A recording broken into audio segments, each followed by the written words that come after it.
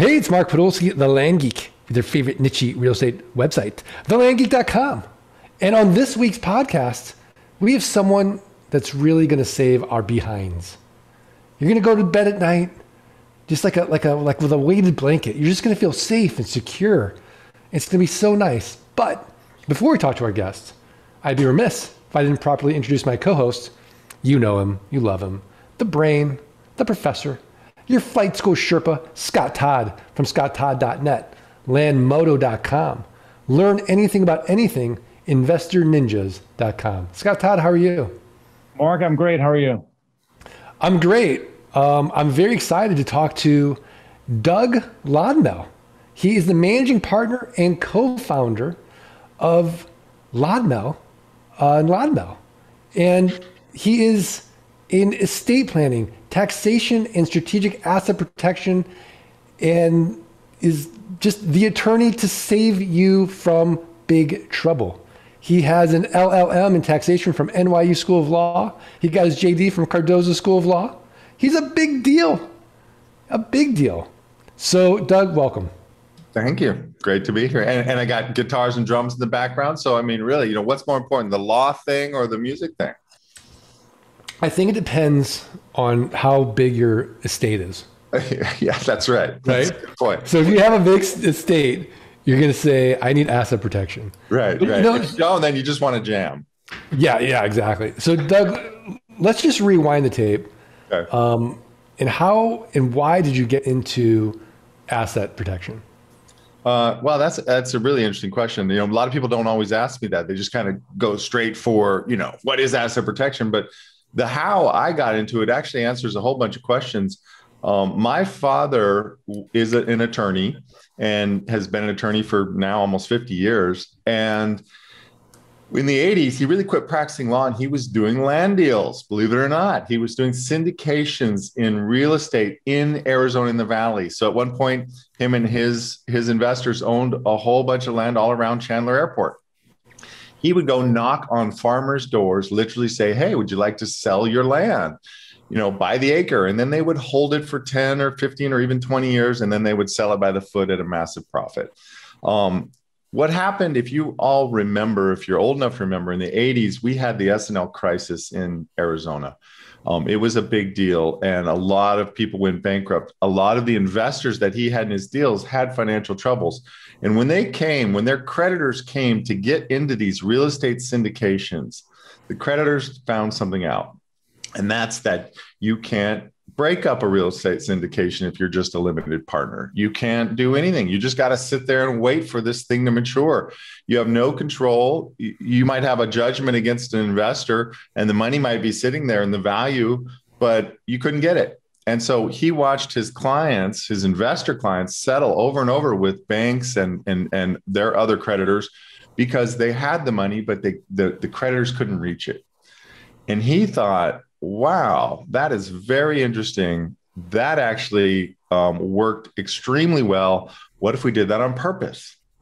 And that really was his his moment, uh, his light bulb moment of let's think about this from an asset protection standpoint. That was a byproduct of being a real estate syndicated investor. He said, let's do it on purpose. So he actually started traveling around the world. It happened to coincide with 1984, the Cook Islands passing the first Trust Act, which allowed for a special type of trust known as an asset protection trust. And from there, he basically dove headfirst into asset protection. I, I ultimately went to law school and I joined him um, because I loved that area law. I knew I was going to do it. So I didn't have to mess around with any other area. I focused. I did my LLM in tax because tax is very relevant when you're talking about international and, and all sorts of um, tax related things. And it helps me communicate with CPAs. So, so that's how I ended up in it. It was very organic on the part of my father, um, realizing that this actually worked. And then it became very conscious developing a structure that was designed to work. And and now you know 25 years later um, we have proven over and over that it really does work. Very very cool. Scott yeah. todd what are your thoughts on asset protection? We don't really talk about this a lot. I mean I, I, do think that it has a lot to do with like the the size of the asset right? You know the, the size of the estate because yeah, like I've seen people that they they'll go through the mundane process mark of like you know my average purchase on a piece of land is around two thousand dollars. So okay, so I buy a piece of property for like two thousand dollars. We sell that property for eight thousand dollars, and so right.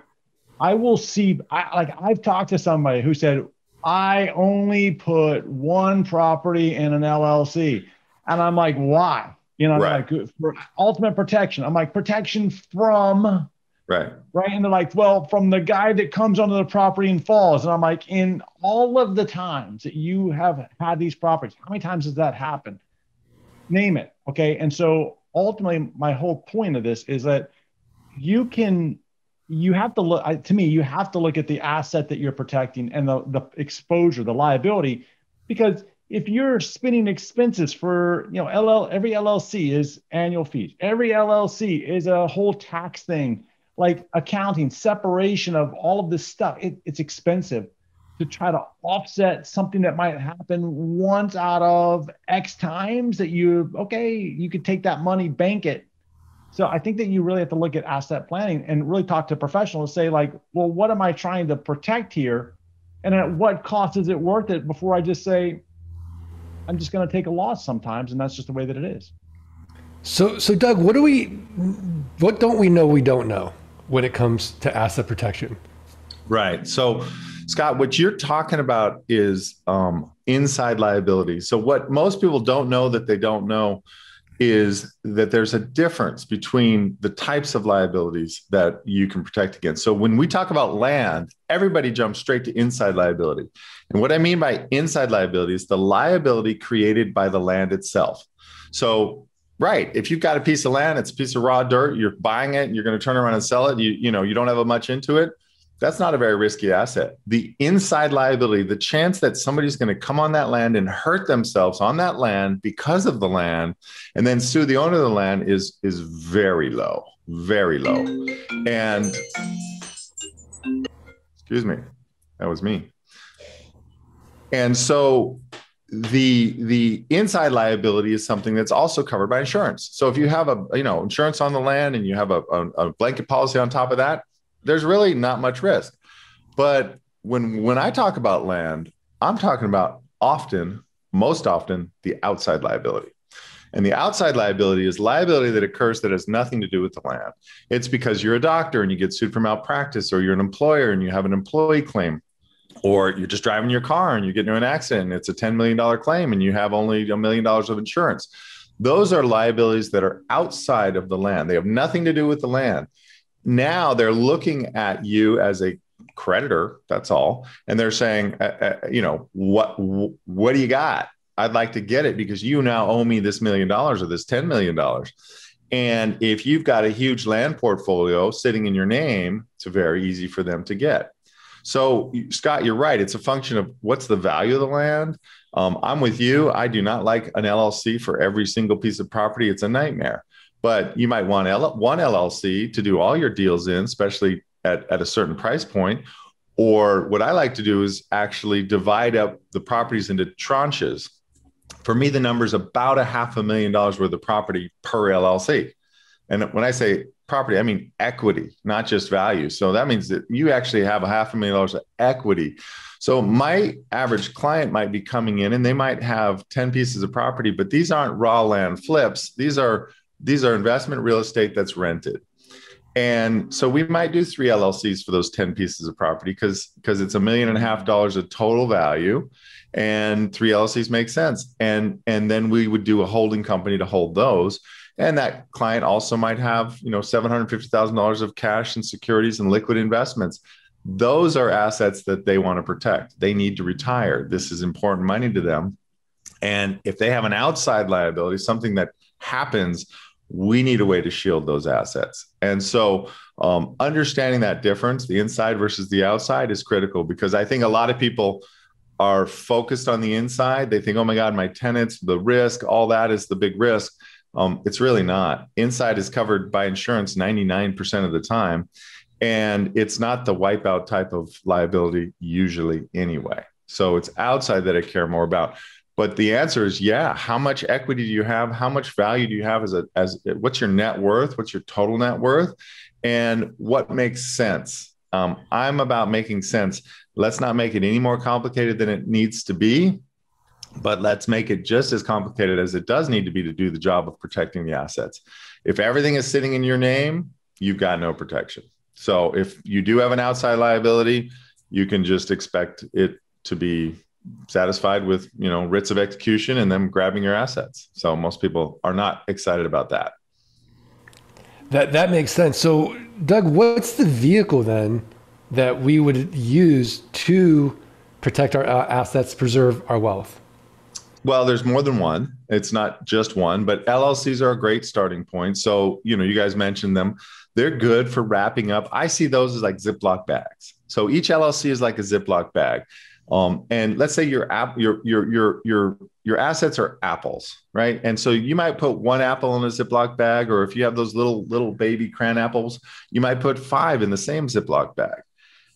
Just know that if there's a worm in that apple, everything in that bag can get infected because the worm can can go through everything in the Ziploc bag, but it won't go out of the Ziploc bag. Now, once you have the Ziploc bag, where are you going to put that? That's where the holding company comes in. And so for a holding company, I use a similar tool called a limited partnership. This is the exact tool that my father used 40 years ago in those syndications. And to this day, if you do real estate syndications, you're probably going to be a limited partner in a limited partnership. That is the standard tool. It's standard because it has really good features to it. When I use it for asset protection, I make it something that is is basically unique to your family. It's your holding company, it's your limited partnership. And it can own the LLCs that own the risky assets. The the if you have a boat, we're going to probably put it in an LLC. If you have an airplane, we'll probably put that in a different LLC. So anything that's risky, we're going to want to wrap up to some degree. Um, those LLCs can be owned by the holding company. If you own them all and they're single member, they're disregarded for tax purposes. This simplifies the, the tax reporting because you won't have a tax return for every single LLC that you have. You can just have one tax return for the holding company. The holding company, in turn, can hold your cash and your securities and your notes receivable and anything that's securitized, anything that's non risky in and of itself. And then, depending on the level of assets, we may use one more tool, which is called an asset protection trust. And an asset protection trust is a, is a trust designed specifically to protect your assets from your creditors. You're the beneficiary of this trust. It's still your money. But if a creditor comes, this trust can actually say, sorry, not making any distributions to you, um, unable to access assets of the trust. And this can be done in, in, in as complicated as a fully offshore trust in a jurisdiction like the Cook Islands, or it can be done domestically, or it can be done in a hybrid fashion, which I call a bridge trust, which is really the way that most of my clients would would go is the hybrid fashion in the bridge trust.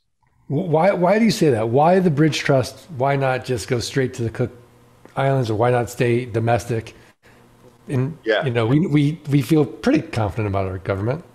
Yeah, right. Maybe so, not Scott Todd, but I, I do.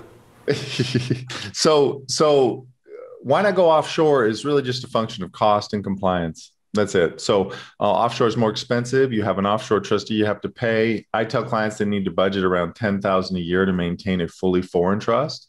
So clearly, it's the best when it comes to protecting because the foreign jurisdiction is does not have to recognize U.S. judgments. It, it absolutely you have to start your case over. You have to prove your case beyond a reasonable doubt. It's very difficult to get into an offshore trust. Very difficult, but you pay for that. So you have maintenance costs of 10,000 a year. Um, you're going to have IRS compliance requirements, which is a form 3520 and a 3520A, which is a full balance sheet disclosure of all the trust assets, a listing of all the parties to the trust, the, including the pr- protector, the beneficiaries, and that goes to the IRS. Most people aren't super excited about that. It's not an extra tax, it's just disclosure. But if you don't have to, why? Sure. So that's why most people don't go straight offshore, just cost compliance and control, of course. If you go offshore, the offshore trustee needs to be in control of the trust. So a lot of people aren't quite ready to give up that control. Um, your other question was, well, why not just stay domestic? Well, the problem with domestic is that it hasn't worked. Um, we have a lot of cases now. The domestic trust came around in 1998, whereas the foreign trusts have been around since 1984. And the domestic trusts have just proven not to work nearly as well. We've got lots of case law, and by and large, they've just failed. So I'm not a big fan of the domestic trust simply because they haven't shown to work. I am a big fan of the foreign trust because they have shown to work. And frankly, there's just a better option, which is the bridge trust. So all a bridge trust is, Mark, is it's a foreign trust that for the purposes of the IRS is bridged back into the United States and is considered domestic. So it's a foreign trust treated like a domestic trust for tax purposes. So you get the best of both. You get the foreign trust protection without all the compliance, without all the additional costs, and it's treated just like a US domestic grantor trust. I love it. Scott Todd, what's your thoughts? Ben, I mean, you know, it, it sounds like a process that's that's been proven and and tested out. You know, you know, it sounds like a lot, Mark. Is it sounds like he's got a recipe. He's got a recipe. Yeah. the recipe. Yeah. So, well, I mean, recipes work, right? That's how you make the best stuff is you figure it out once. You don't reinvent the wheel every time. You go, okay, what works? And then you you tweak the recipe as you get more experience. So my recipe has been tweaked for sure since day one when I did this. And every year I tweak it, um, but always to the better and always staying within the context of what I know works. So Scott Todd's a pilot. He owns his own airplane. Yeah. What is to stop me, knowing that he's a high net worth individual, from just suing him? Um, nothing is to stop you. Nothing is to stop you from suing him. That's the problem with our legal system is that there is no stop. Um, just because you know the guy is enough. You can go, hey, he told me he was going to give me a ride in the airplane to Vegas. He didn't, and I was going to bet black, and and I didn't get that chance, and I would have won a hundred million dollars, and I I didn't win because he didn't give me the ride to Vegas in his private airplane. Can so, we just stop so, this conversation. Can we stop this and go another direction? like where this is going. so wait, so how would Scott protect himself then? What what what is a way that he could then shield himself from someone like me going after him? Right. So, I mean, anybody can sue anybody for any reason, anytime. You don't have to really state your case, and you can get them into a a, a massive uh, legal expense uh, budget and if you ultimately lose the case because it was a BS, you know, malarkey case to begin with, you don't have to pay Scott back all the legal fees he spent. That's set up in order to specifically use our system to hijack people for money. It, it, it's just it's it's extortion. I call it legal extortion. I wrote a book called The Hijacking of Justice in America, you know, and it's about legal extortion. So how you protect yourself is one, you know, you do the best job you can dealing with people that are ethical, obviously be very careful who you get into business with, who you who you do anything with, because everybody is a potential liability, and that includes your employees, includes your business partners, everybody. The second thing is is you make yourself an unattractive target by removing your assets so that so that let's say he does get sued, he can come to me if he's already done this plan and I can write a letter saying, "Hey, he's uncollectible. There's nothing you're going to be able to get. It culminates in this offshore trust. Good luck." And that is very powerful in dissuading the other side from going forward, especially if the case is BS, which many of them are. So, um, so yeah, asset protection. It's like insurance, except it's not focused on a specific type of liability. It's focused on the assets themselves. So sometimes I'll call it net worth insurance. You're basically taking your net worth and you're insuring it. You're insuring the asset. You're not insuring, you're ensuring the asset is able to be protected from a liability. It should go hand in glove with insurance, which I hope, Scott, you have on your plane and your house and your car and everything else in your life. Um, so insurance is good. And then we ensure that the assets are unable to be reached because we've got them protected. All right. Well, if you're listening to this, I'm not planting any seeds. Do not sue us. no. We will counter sue with Doug. That's right. Someone It'll be brutal. Me, I'm suing you. Yeah, exactly. I, I mean, uh, you know, you guys joke about that, but every bad case I've seen from clients was was a countersuit. So clients will sue, just thinking, oh, they did me wrong, and they sue, not really understanding what they are opening up. And the other side is far more aggressive and far more prepared, and they countersue, and and the countersuit is what usually bites you. Um, so yeah, I mean, I'm not a fan of suing because it it it is a double edged sword, and I have seen it turned around so fast Um, the the jujitsu of some of these attorneys is brutal. Don't mess around with the legal system. Stay out of it. That's the best. That's the best tip right there, man. Just There you out. go. You wanted the tip of the day? Stay out of the legal system. There, there you go. That's which I'll give it to you because we're actually at that point now in the podcast. Where We want to ask Doug for his tip of the week, a website, a resource, maybe another book, something else actionable Yeah. for the art the businesses to go improve their businesses, improve their lives. Doug, is that your tip? Stay out of the legal system. Okay, so so my tip is stay out of the legal system. Don't don't think it's an easy way for you to um, you know get something done because it it is a it is a whipsaw. It comes around and bites the unprepared. The actionable thing I'll say is uh, I did write a guide specifically on protecting real estate. It's a it's a topic that people are confused about. Um, protecting cash is easy. You can send it offshore to the offshore trust in a Swiss bank. I mean, it's it's kind of a, a you know sounds very James Bond, but it, it's very effective and very easy to do. With real estate, it's physical, it's here. So a lot of even attorneys misunderstand and, and don't think it can be protected because it's physically in the jurisdiction of the court.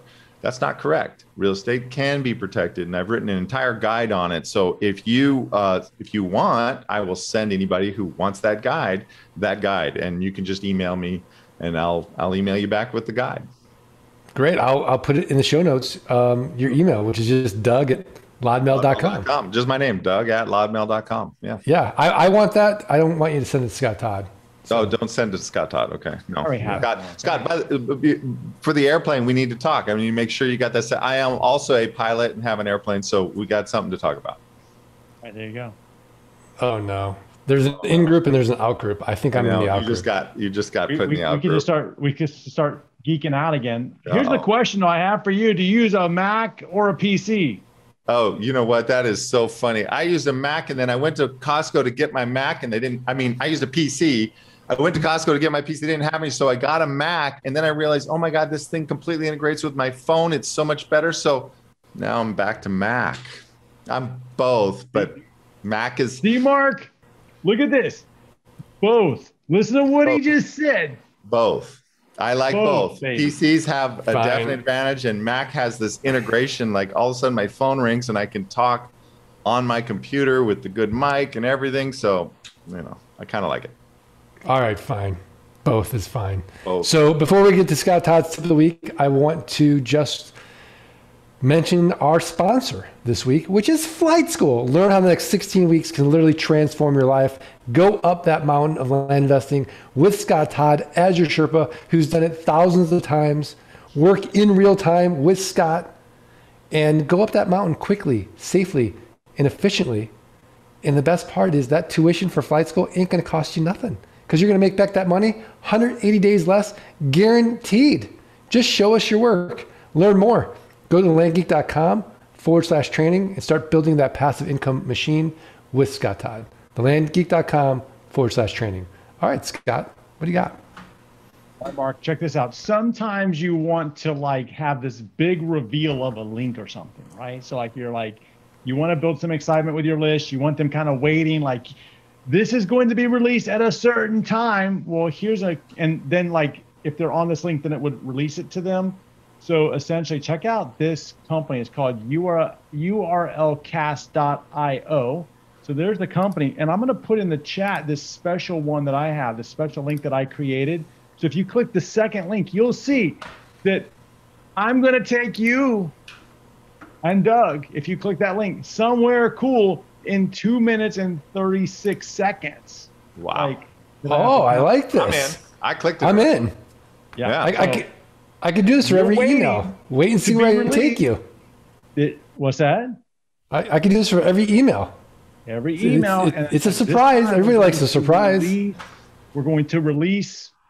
I don't know if I could say this because I don't want to be political here, but like this could be the equivalent of like releasing the Kraken, right? Like, Know if Wow. I should say that. People are gonna be I don't know. like, "You just brought politics," and I'm not. I'm just saying, like, I like that kind of. This is, this is it. All right. Well, as good as this is, we still got to wait another minute. My tip of the week is one that is going to help you sleep well at night, knowing that your assets protected, your wealth is protected, you owe it to yourself, you owe it to your family to learn more. Go to lodmell.com and start getting into it. Get a, a, a consultation with Doug and start learning about all the different ways that um, you can protect your hiney and all your assets. Lodmell.com. I'll have a, a link to it. Um, Doug, are we good? Yeah, that's it. I mean, you know, it's a whole bunch of complicated stuff, but in reality, it's simple. If you got assets, look at how you can protect them, and and you won't be sorry because you know Right. stuff does happen. Stuff does happen. Stuff does happen. Scott Todd, are, are we good? We're good, Mark. Uh, just for everybody listening in on this, you can't see it, but we have a minute and a minute even before we release Doug and Mark to this secret place that I've set up for them. I mean, should we just just talk about something just- for the next minute? I mean, it's 50 can seconds just- now. We can probably kill that. 50 seconds. Yeah. So, so 45 Doug, seconds. what is your favorite lunch spot right now in Scottsdale, Arizona? If if Scott Todd ever flies back in post COVID, where would I take him? Zinc Bistro at Kierland. It's a French restaurant. It's awesome. It's consistent. You got outside seating. You can bring your dog and hang out. Zinc Bistro, Scottsdale, Kierland Mall, Kierland Outdoor. I love I love Zinc Bistro and the same people that own Fat Ox yeah, and the mission, right? and the Mission. Very good stuff. Solid people. Yeah. Scott's a Like, feels foodie, like the so outsider. God. Scott, do, do you like mussels? They got the best mussels. Ooh, the in moule. Oh, that's what my wife orders every time. Yeah. And she's French, so go. you know it's good. Oh, there Here we go. go. Okay, here One it is. second. It's taking you. It took us to Google. I took you to Google. I don't think that was worth the wait. Wow. Wow. Wow. You know what? Doug and I are never going to get that minute back. No, Listen, we burned but it it. was fun. We talked about you guys talked about a restaurant, and also it just shows you the power of this uh, this tip of the week, where we wanted to stay on to see where it took us. That's right. That's right. It, it, it does show us the power, but then you've got to deal with the disappointment now. Listen, Google does not disappoint. I'm sorry. Yeah. That's pretty much where everybody goes every day. So, you know, really, you did take us to the best spot. I took you to the number All one right, spot yeah. on the web. Yeah. All right. free. Well, you, you two fly boys just go ahead and collude together. That's fine. I just want to thank the listeners and remind them the only way, the only way we're going to get the quality guests like a Doug at uh, lodmell.com is if you do us three little favors. You got to subscribe, rate, review the podcast. Send us a screenshot of that review to support at thelandgeek.com. We're going to send you for free the whole tailing course, how to double your money 30 days or less. Please do it. All right, we ready to do this? Yeah. Go. One, two, three. Let's Let freedom um, ring. ring. Ring. There you go. Thanks, everybody. Thanks for listening to the Art of Passive Income podcast. Start your journey at www.thelandgeek.com and www.scotttodd.net. Rate and review the podcast and email support at thelandgeek.com. Your screenshot for a free passive income launch kit.